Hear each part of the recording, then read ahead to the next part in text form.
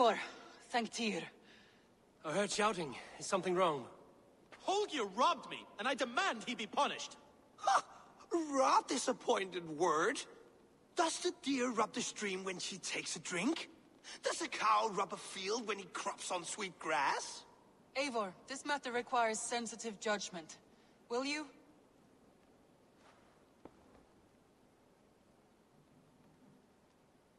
Of course. From the beginning, please. Well now, there is no excuse too small, I see. Nothing to keep you from coveting that seat, is there? In Sigurd's absence, who has better claim to oversee these disputes? You might leave them to work it out for themselves, but that would mean letting go, would it not?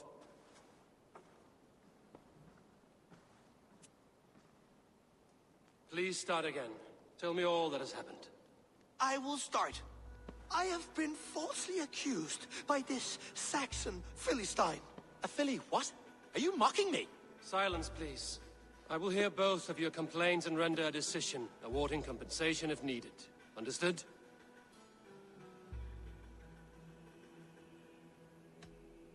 Holger, let me hear your side. Eivor, you have known me as a skald for years. You have seen how my poems bring life and joy and wisdom to our people. And you know that my work requires a certain, let us say, freedom to make use of rare resources to compose my verses. Often when lacking the proper tools, I have made use of novel items. Alvis's walking stick, Tovi's inks, all were given gladly. You cut off my horse's tail to make a brush, you bleed. Rowan? As I was saying, this morning in the throes of poetic reverie, I realized that my latest piece required delicate brushwork. I could have used a frayed stick, some cloth, my hands, but no. I needed something gentler, softer. To make a perfect brush, I needed the fine hairs of a well-raised horse. And so I availed myself of a local resource. You clipped Alfgafu's tail to the rump without asking. It was early. I did not wish to wake you. Thank you, Holger. I believe I understand your position. Rowan, tell me your version of these events. Ah, as you are aware, Holger and I are neighbors. Near enough that I often catch him at my stables, stealing my tools. Borrowing. Holger, let him speak. Stealing, borrowing. My point being, I have always allowed him to use whatever he pleased. I greatly admire your Norse generosity and had hoped to match it. But this morning, Holger stretched the limits of my grace. Entering my stables for their feed, I found my most beautiful, gentle mare stripped of her tail. Bereft, not a strand in sight. I am ashamed to say my natural suspicion drew me to Holger, and how right I was. For when I peered across the lane, there he was, gripping a horsetail brush slathered with indigo, dragging it across a sheet of Painting, Rowan. I was painting. You make it sound so crude. You see? Such willful arrogance. It will take ages for Ilgafu's tail to reach its former length. I demand compensation. I understand. Thank you, Rowan.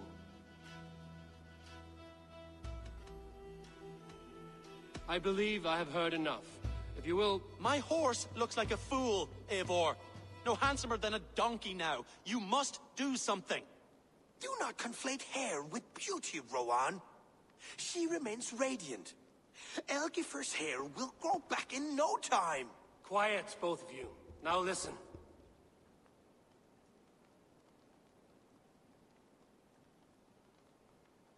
Holger, Rowan is clearly in the right. You sheared the tail from his horse without gaining permission. I borrowed the tail. Borrowed! Does the reality of regrowth not make this a victimless crime? It is a two-victim crime, Holger. Though they are unharmed, you took without asking, and that will not do. As the horse's value has diminished significantly, you will pay Rowan its market price. But the horse was not for sale. Rowan, admit it. My decision is final, Holger. Pay what you owe, and meet tomorrow as friends. And if I do, may I keep the horse? Pay the man and be done with it. Rowan, does this satisfy you? It does. Thank you, Eivor. Good. Then by Tyr's blessing, let this matter rest. We're done here. Return to your homes in peace.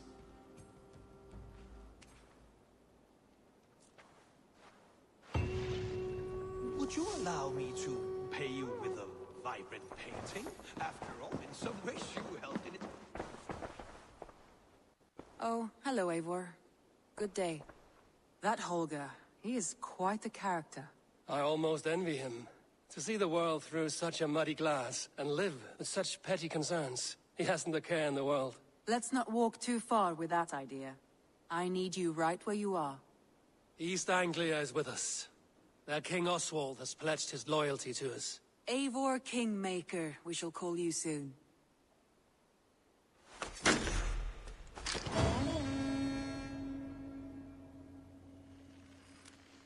Some interesting news. King Ceolwulf has sent Ceolbert to Shropshire. He hopes to install him as Ealdorman there. Good for Ceolbert. He should do well considering all he has learned from you. I gave him only a taste of my knowledge. The rest he will need to figure for himself. One more thing. I do not know if you heard, but Svend passed away a short time ago. The poor man slipped away in his bed. I had not heard, no. And how is Tovi? She must be gutted. It has been rough on her. She spends quite a lot of time at his burial mound. Speak with her, if you have the time.